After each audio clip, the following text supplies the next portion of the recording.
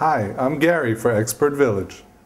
The way the air pressure works is kind of similar to what we've seen in meteorological maps that sometimes when you're watching the news we see these big maps and we see a bunch of H's and L's and we can now understand what those things mean. When there's a high pressure we can usually expect sunshine and that is because the pressure is very high on the outside. So in, for our barometer, what it would be doing is we'd be pressing down on the top of the jar, pressing down on the giving putting weight onto the balloon, and therefore the straw would be tilting upward, and that would indicate sunny weather.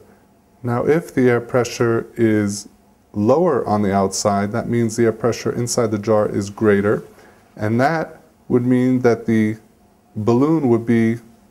going upwards from the bottom because of the, the stronger air pressure inside the jar, and that would cause the straw to actually tilt downwards. So now we can also understand,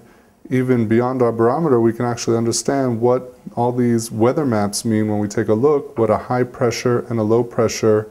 zone on a, on a weather map actually means, and now we can actually see it applied when we can expect sunny or cloudy weather.